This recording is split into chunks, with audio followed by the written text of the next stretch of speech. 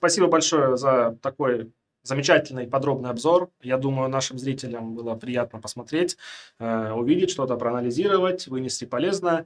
Ну и хотелось бы задать тебе вопрос, да, а что в итоге сейчас с озимыми культурами? Спасибо за вопрос, отличный вопрос на самом деле. Действительно, что с озимыми? В том году озимых не досеяли. Порядка полутора миллионов гектар по всей стране не было досеяно. Чем э, будут компенсировать эти площади? Будут ли это яровые зерновые, либо гибридные технические культуры, мы пока не знаем. Я думаю, в скором времени структура севооборотов будет подготовлена и станет это известно.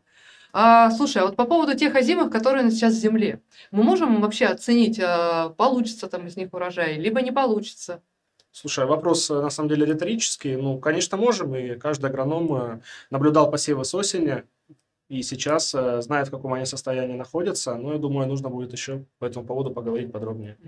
Отлично. А расскажи, пожалуйста, тогда про методы мониторинга, которые помогут нам оценить те поля, которые, допустим, потребуют пересева, либо там все в порядке и пусть продолжают вегетировать. Давайте рассмотрим общеизвестные методы. И предлагаю начать с э, метода монолитов. Очень энергоемкий метод, э, требует большого количества людей, рук рабочих, э, которые могут выступать как агрономы, так и механизаторы, особенно в крупных хозяйствах. В чем сложности?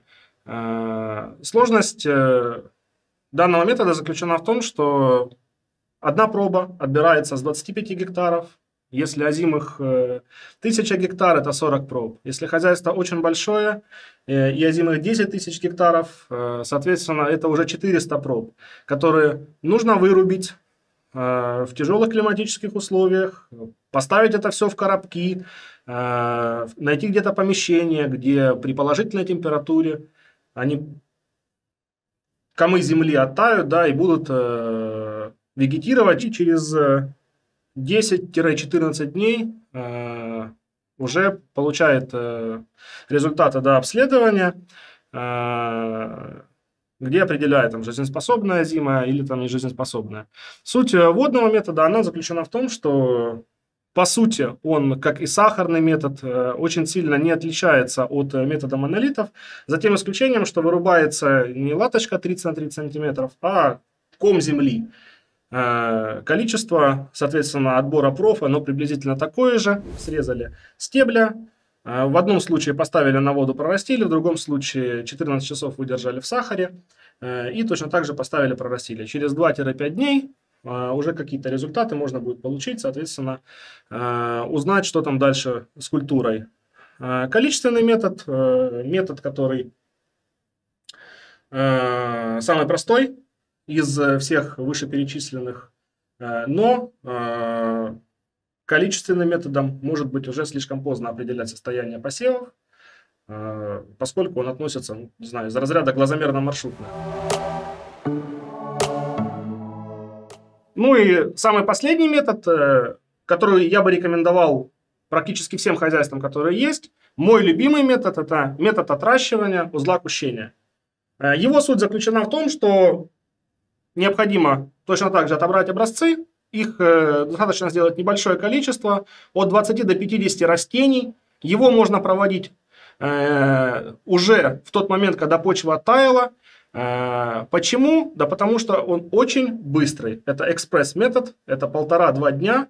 Необходимо отобранные образцы обмыть, обрезать сантиметр корней снизу, полтора-два сантиметра стебля, Все это дело сложить в посуду и на 24-28 градусов оставить в теплом помещении. Через 20 часов можно прийти и посмотреть, что будет уже в посуде. Собственно говоря, чем мы сейчас и займемся.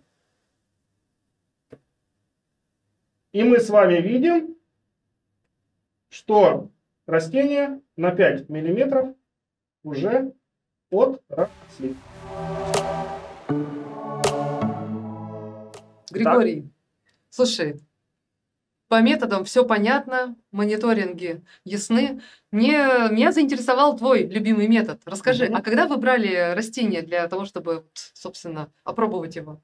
Буквально вчера, специально вот перед съемкой выпуска, для того, чтобы что-то показать интересненькое, наглядненькое, такой вот интерактивчик провести, вышел на свою клумбу перед институтом, копнул, отобрал, помыл и вот положил в посуду. 5 э, миллиметров уже отросло, видишь. Да, да, здорово. Слушай, а вот если, например, ну, в хозяйстве э, будут применять этот метод, а Э, скажем, с одного поля достаточно одного образца взять или все-таки надо несколько? Я бы все-таки отбирал от трех до пяти образцов с поля, но это достаточно просто, легко. Не зря это мой любимый метод. Всегда хочется идти по пути наименьшего сопротивления, чего я вам рекомендую. Поэтому 3-5 образцов с поля, поехали и в путь. Вот. Слушай, классно, огонь. С нами сегодня Критский Андрей. Предлагаю его также пригласить сейчас, чтобы он поделился своими наработками на эту тематику. Да, у него там очень интересный метод, как-то там то ли тепличный, то ли парничковый. Давайте послушаем, будет очень интересно.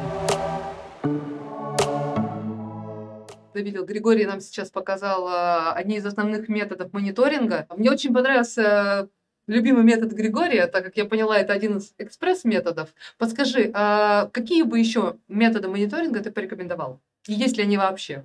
Ну, продвинутые агрономы иногда используют так называемый метод парничка. Конечно же, это уже ближе к возобновлению вегетации, для того, чтобы не брать на всех полях монолиты, пробы, растения, а, устанавливается парничок в виде небольшого ящика, накрытого пленкой.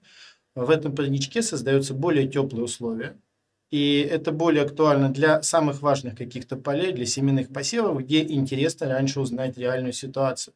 То есть это ситуация в онлайн-режиме, в полевых условиях, но там весна придет раньше. И, соответственно, растения возобновят свою вегетацию в этом парничке раньше. Кроме того, агрономы могут еще оценить засорение посева, потому что ранние сорняки... Это как? Ранние сорняки начнут тоже раньше возобновлять вегетацию, можно уже спланировать весенние полевые работы, понимая, какая гербицидная обработка понадобится, даже если зимующих сорняков в посевах нет, и мы ждем волну, первую волну яровых, сорняков для того, чтобы с ними бороться. То есть, условно, мы понимаем, например, что, да, у нас там был небольшой недосев озимых, к примеру, да, то есть частично мы будем это восполнять, например, техническими культурами. И вот э, с помощью экспресс-метода и метода парничка, да, мы можем определить те поля, которые наиболее будут подвержены пересеву и которые будут более ранние? Ну, я бы здесь сказал, что это все-таки не массовый метод. Это mm-hmm. для каких-то э, полей, которые действительно очень важны. Ну, если есть возможность, если есть желание, проблема сбить четыре доски, натянуть пленку, это не так сложно. Установить эти парнички соответственно, оценить состояние в поле, э, сдвинуть срок вегетации, возобновление вегетации на неделю, на две, и действительно раньше увидеть эту картину.